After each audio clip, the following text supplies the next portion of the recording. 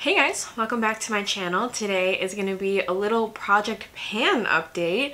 Um, I know this is coming a little bit late, but bear with me. I think I'm going to change my upload schedule to be just Thursdays with the amount of work that I've been doing and the amount of travel I've been doing. It's just not plausible for me to do two videos a week. So I'm going to switch back to one video a week on Thursdays. So this video should be up on a Thursday. Let's let's just get into it. If you're new here, hi, my name is Vivian. I'm a robotics engineer with a love for all things beauty and makeup related. I am uh, currently working on a Project Pan. My channel is going to try and focus more on conscious consumption and keeping things in your collection that you really like and love and love to use. And so if you're interested in that kind of content, be sure to like and subscribe if you aren't already.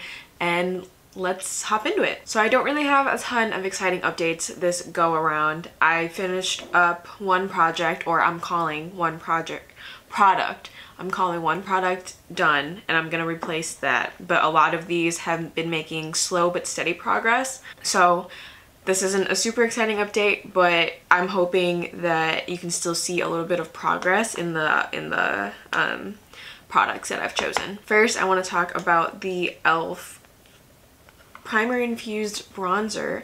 I think I'm starting to see a little bit of a dip. It doesn't look like it's that much, but also I feel like maybe this is my mind playing tricks on me, but I feel like I can start to see the metal ring. I'm obviously not close to being done with it yet, not, not a chance, but I'm starting to see ring. So maybe that's a good sign. I thought I saw a ring last time, but I don't know. I've used this every time I've done my makeup this past month. And I, I will be honest, when I was in, or when I was on my work trip, I was out in the hot sun all day, so I didn't wear a ton of makeup. And so I didn't wear as much makeup as I normally would, so maybe that's why progress is a little slow but I'm hoping that I'll get more progress out of this in the next month. Another product that doesn't have a ton of exciting updates is the Rose Inc blush. You can start to see a dip going on. It's not a huge dip, but it's a dip nonetheless. This product is super pigmented and I've been using this every day, like I said, when I do my makeup. So I don't need a ton of product like on my brush to get a nice like flush of color.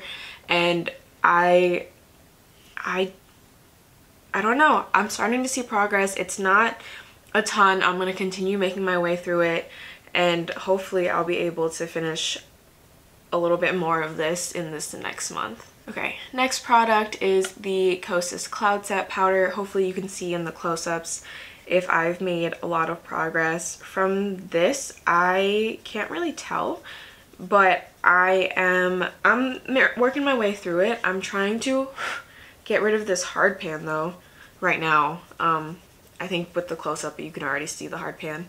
So I'm to get rid of this hard pan. Hopefully I'll start seeing more progress. I'm not really sure why it hard pan like so many layers. But yeah, I still really like the powder. It still looks really nice on my skin. I'm wearing it right now and it just gives like such a nice finish like everything looks cohesive when I use it and I'm still obsessed with this powder so excited to continue using this the next item is the Rare Beauty Dewy Lip Balm in the shade Thankful. I've used this a couple times, so you might see a little bit of progress, but the taste of this is not great. Not that I'm trying to taste my lip products, but when when I do taste it for whatever reason, like it really does not taste good and it makes me want to wipe it off. So not my favorite lip product. I'm also wearing it right now, but it it gives a nice like neutral color and it gives me something on my lips which I normally wouldn't have. So I'm still going to continue using it. I'm still going to continue trying to use it up. I'm just going to try really hard not to like taste it, I guess. The brow pencil, the Anastasia brow pencil or Brow Wiz technically, is making making its way through through the course or yeah it's it's I'm working on it um I haven't been filling in my brow as much as I used to like I used to fill in my brows so much and they'd be like super blocky. Now I try to just fill in the spots that I feel like I need a little bit more like filling in. So like usually on the outer corners and a little bit underneath like towards the center. So yeah, my, working our way through it. Maybe you can see some progress with the close-ups, but probably not a ton. I would say this is going to take me a couple more months as well. Like I I kind of knew this going in that I wouldn't have a ton of super exciting updates this month. There are just a lot of products here that I wasn't close to finishing when I put them in the project. So it's not the most exciting and I'm sorry about that, but you know, hopefully you can see that I'm still making progress. Okay, next is the Kosas Revealer Concealer. Okay, so it if you can see, I'm like scraping the sides, but there's a lot of product towards the bottom still. Like I would say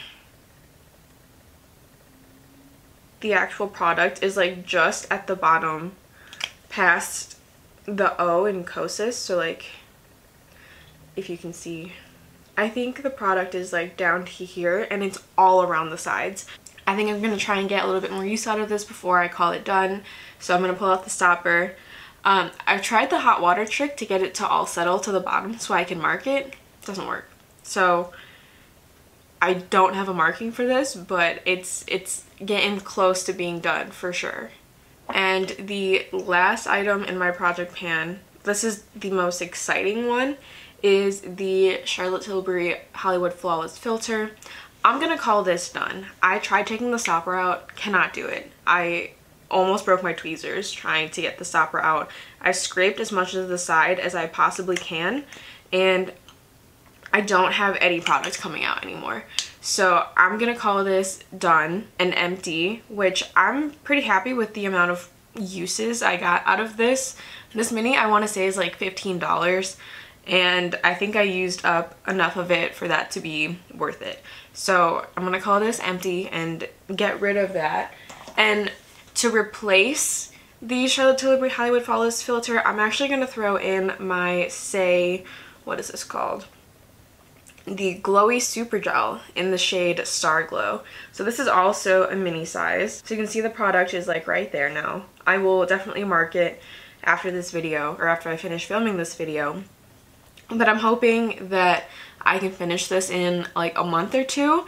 This product goes really quickly. I like to use this as an under the base primer like all over the face. So I'm, I'm pretty sure this will go relatively quickly. The formula is nice. It doesn't have any coverage in my opinion. So it really just leaves like a really pretty glow. And this glow is very different than the Charlotte Tilbury Hollywood Flawless filter.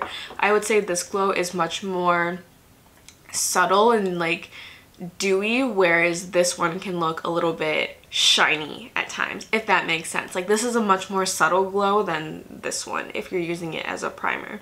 But that is it for this video. I hope you guys enjoyed. I'm sorry that it wasn't super exciting. I hope to be more productive with these products in the next month or so.